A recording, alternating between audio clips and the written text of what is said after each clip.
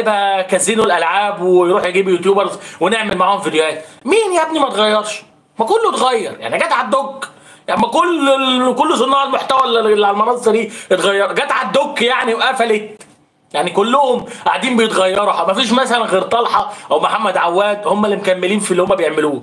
وطبعا معتصم عمال يدينا أبيات شعر الناحية الثانية فما جاتش على الدك يعني يتغير في اليوتيوبر المصري.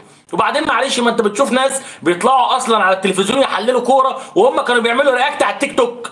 يعني أنت تعرف أصلا محمود الورداني كيف بدأ مسيرته على ال social media؟ الورداني كان بيعمل react على التيك توك. دلوقتي الورداني بقى محلل وبقى بيطلع على قنوات On Time Sport وليلة كبيرة. يعني حبيب قلبي من الآخر كده هي كلها زريبة واحدة. فالزريبة دي مش هتطلع لك عالم ولا هتطلع لك عبقري. هي الحكاية كلها إن الراجل كان داخل زينا كده كان كان دخل زينا كده. راجل سعيد دخل على ال social media. العالم بتاع ال social media سحبوا معاه وسحبوا سحبة جامدة. لا أكتر ولا أقل. إنما أنت بقى